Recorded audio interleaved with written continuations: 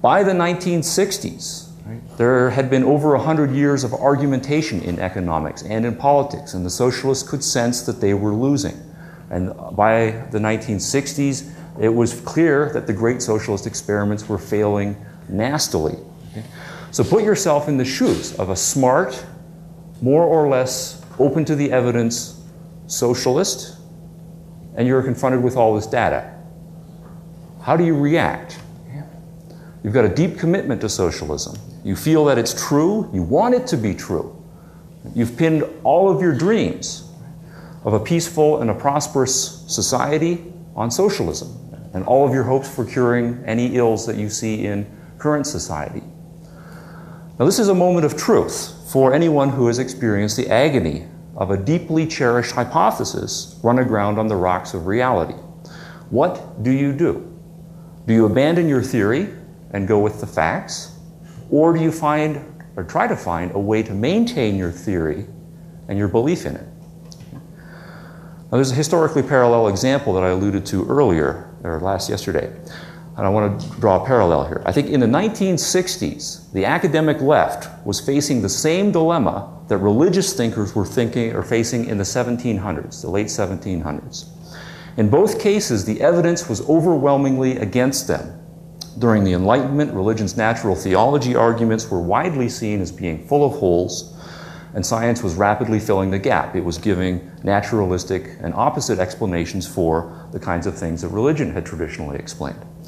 Religion was, again, in danger of being laughed out of intellectual debate. By the 1960s, the left's arguments for the fruitfulness and decency of socialism were failing in theory and practice, and capitalism was rapidly increasing everyone's standard of living and showing itself respectful of human freedoms. By the late 1700s, religious thinkers had a choice accept the evidence and logic as the ultimate court of appeals, and thereby reject their deeply cherished religious ideals. Or, and here's the strategy you can reject the idea that logic and evidence are the ultimate court of appeal. I had to deny knowledge, wrote Kant in the Critique, in order to make room for faith. Faith writes Kierkegaard in Fear and Trembling, requires the crucifixion of reason. And so he proceeded to do that and glorify the irrational. The left thinkers of the 1960s faced the same choice. Confronted by the continuing flourishing of capitalism and the continued poverty and brutality, they decided, like Kant, to limit reason to try to crucify it. And so Heidegger, coming along and exalting feeling over reason, is a godsend. Kuhn's theory laden paradigms, Quine's pragmatic and internalist account of language and logic do the same thing. So the idea here is that the dominance in the academy of skeptical and irrationalist epistemologies provides the academic left with a new strategy. Confronted by ruthless logic, harsh evidence, they have a solution. That's only logic and evidence logic and evidence are subjective. You can't really prove anything. Feelings are deeper than logic. And my feelings say socialism. So that's my second hypothesis about the origins of postmodernism. And I call it the Kierkegaardian hypothesis. That socialism is the crisis of, or sorry, postmodernism is the crisis of faith of the academic left. Its epistemology justifies taking a personal leap of faith and continuing to believe your socialist ideals. Okay. All right, so so far what I've done is two things. i have tried to account for socialism's subjectivism and relativism on the one hand, and its monolithic left wing politics on the other, and saying that there's a deep connection between the two. Now, if this is correct, putting those two together, what we get with or out of this is what I call reverse Thrasymacheanism. Okay? okay? Yeah, that's the syllables. Okay. Now the illusion here, right, is philosophers playing games. It's, the connection is to the sophist Thrasymachus in Plato's Republic. Right? And some postmodernists, actually many of them, see a big part of their project as rehabilitating the sophists who've been out of favor for a couple of thousand years. And this makes perfectly good sense. Right? Now, suppose after doing some philosophy, you come to believe truly in subjectivism and relativism, as the sophists do. Accordingly, you come to believe that reason is derivative, will and desire rule, society is a battle of competing wills, words are just tools in the power struggle for dominance, all's fair in love and war. That's, of course, what the sophists argued 2,400 years ago. Now, the only difference then between the sophists and the postmodernists is whose side the postmodernists are on. Thrasymachus in Book One of the Republic is kind of a representative of a fairly crude second generation sophist. And what we find in him is subjectivist and relativistic arguments marshaled in support of the claim that justice is simply the interests of the stronger. The postmodernists, coming after 2,000 years of Christianity, 200 years of socialism, simply reverse that. Subjectivism and relativism are true, except they're on the side of the weaker and historically oppressed. Just as contrary to Thrasymachus, then, is the interest of the weaker. Now, I like this hypothesis because I made it up. but I think it still leaves something out. And I think what it leaves out is some psychological components of postmodernism.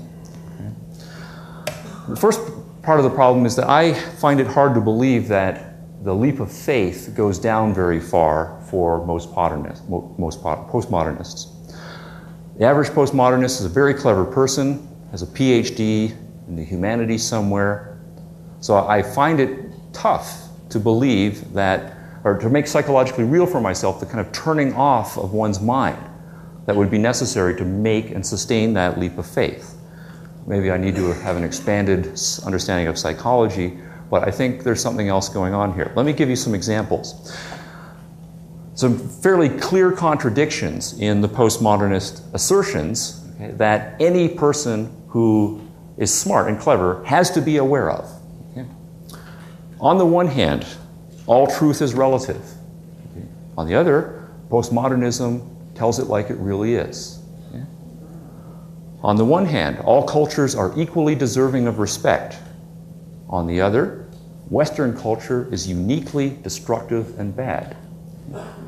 Values are subjective, but sexism and racism are really evil. Technology is bad and destructive.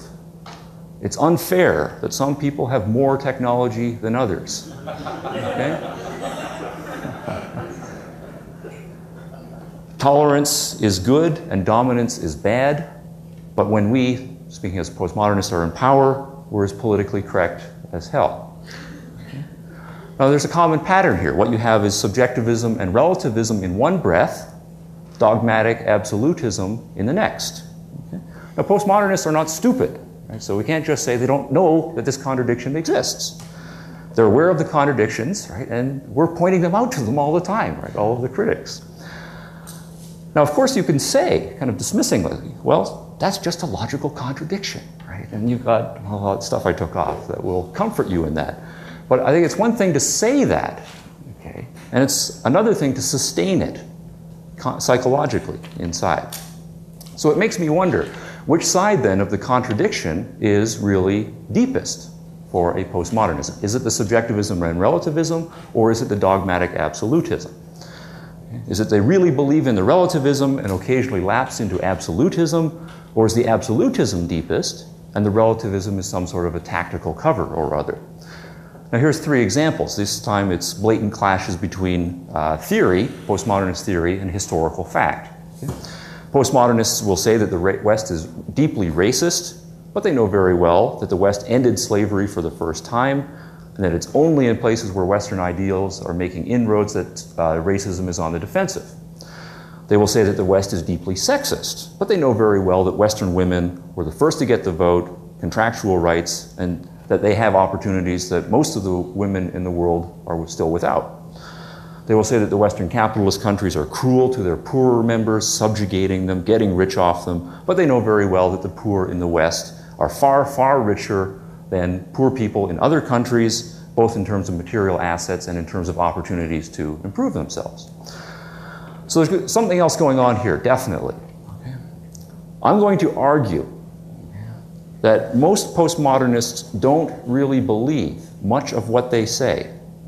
That the word games, the accusations, and that much of the use of anger and rage that is characteristic of their style is not a matter of using words to state things that they think are true, but rather of using words as weapons against an enemy that you still hope to destroy. Think of uh, the use postmodernists will sometimes use of science, for example. You find fairly regularly Einstein's relativity theory. That shows everything's relative. Right? Quantum mechanics shows that we can't know anything. Right? Chaos math mathematics shows that the world is irrational. Right? Gödel's incompleteness theorem, right? We've heard of all of these things. Now, these are all cited as proving the postmodernist epistemology, but it's fairly clear especially when you speak to people who enunciate these claims. Here you've got a graduate student in English literature, okay, uh, or some equivalent. They don't know the science, okay, but they are citing the science. Now there's a fun incident. Uh, Alan Sokal, a physicist, and Social Text, which is a postmodernist um, journal, and he wrote an article showing that all of the recent discoveries in physics prove inexorably that postmodernism is true. Submitted it, accepted, published, and it was all nonsense. Right? He just wrote it to show that the postmodernists don't know anything about science and that they will just prove anything. Now the reaction, or they'll just say anything, okay? Right? If, if, if it seems so. so. the reaction of the editors clearly shows this. Okay? They were not arguing, oh no, no, we think that this interpretation of science is true. Right? They knew they had been caught out in a con game. So it can't be that they are publishing these words because they think they're true. They are using the words as a rhetorical weapon. Okay? Truth is not the issue here.